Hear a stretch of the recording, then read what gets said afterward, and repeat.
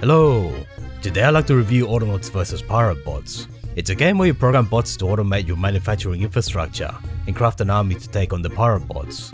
Special thanks go to Curve Games and Denki for the review key. This review is based on about 30 hours of gameplay. All opinions are solely the authors. You're all busy people, so let me answer your most pressing question first. Are you going to enjoy it? The 30 second spiel is that this game is about automating manufacturing. The game takes a unique bent on the genre by having you program bots by showing them how to do things. One bot is easy, but it becomes far more complex as you try to automate the entire infrastructure. You'll be attacked periodically by the pirate bots, and you gain research by taking out enemy outposts. It's intended to appeal to people who enjoy solving problems and take pleasure from seeing a well-run system. If that sounds like something you'd like, then stay with me and I'll delve deeper into the details. The premise of the game is that pirate bots have taken over our planet. It's up to you to defeat the pirates, rescue the colonists, and take back the world. In order to do that, you'll have to set up a manufacturing infrastructure to produce the materials and create an army of your own. It starts pretty simply, but as you progress in the game, crafting recipes will increase in complexity, and you'll need more and different types of material. You get research points by destroying pirate bots and structures. Capturing certain outposts will unlock new buildings. Doing both will give you new craftable items and recruitable soldiers. Destroying the boss's outposts and the boss will unlock new parts of the island. In turn, you'll find new enemy types and new blueprints to acquire in this new land. The game goes for a stylized, Lego-ish look and feel. The music and sound effects are going for a casual and cute atmosphere. But it would be misleading to think that that's all it offers. This game is best explained by the phrase, simple yet not simplistic. Usually I don't comment on the visuals of a game unless there's something outstanding about it, and that's the case for this game. One of the things that impressed me when I tried the first game is how much care the developers took to provide visual feedback and streamline gameplay. One particularly nice touch is how items are stacked. Every item is placed at a slightly different angle, so even when there's a whole bunch of items, you can get the exact item you want. Another is how open containers show you what is contained, and how full it is at a glance.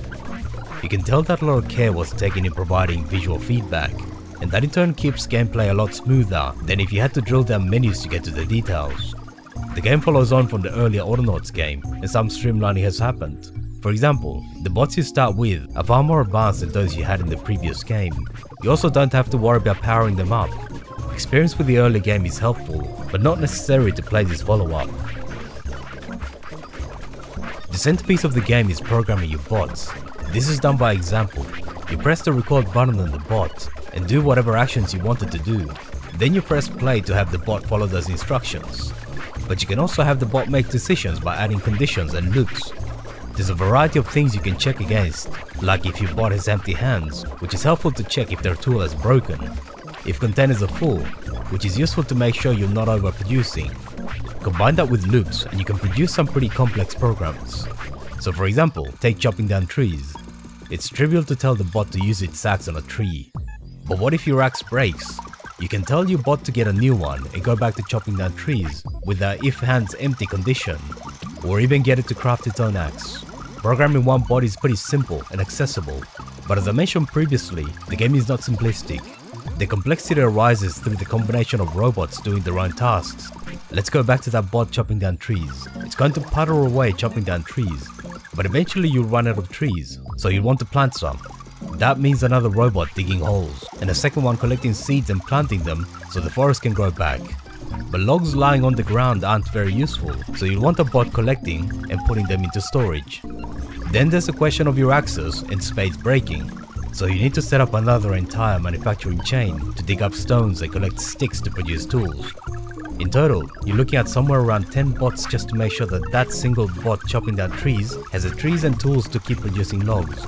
Then you'll need bots producing planks and poles from those logs to further advance your industrial setup. That's just getting started in the game. Crafting becomes more complex as you progress, and recipes demand more and more inputs. Let's take bread. You sell cereals, seeds and products for gold that you then use to recruit soldiers for your army. At the start, you simply plant and harvest cereal crops, and you can sell the straw and seeds directly for gold. But for more income, you have to progress onto porridge. That means clay pots and water. So you need to have a setup to mine clay, turn them into pots, and bake them. For fresh water, you need buckets that you produce from timber products. But clay and water are only found in specific places, so you have to ship tools and buckets, and bring back pots and water to wherever you cook your porridge. Better efficiency, you'll want to use carts and wheeled barrels. That means setting up a vehicle crafting infrastructure. Wheels, axles and gears all have to be produced to get you carts and barrels. Then comes bread. You now need to grind the cereal into flour, combine it with porridge and bake it. Then you need to add butter.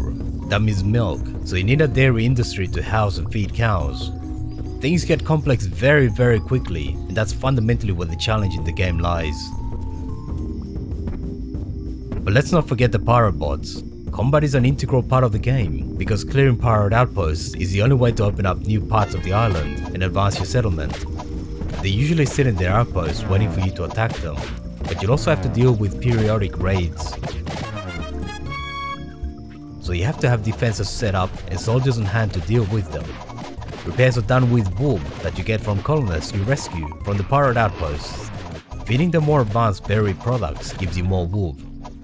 Your basic runs are fine early on, but as you explore more parts of the island, you'll need different types of soldiers. Structures need specialized demolition bots. Some enemies fly so you'll need archers. Some enemies are resistant to missiles. And of course, all the different soldier types require different weapons, and you'll have to set up manufacturing for those as well.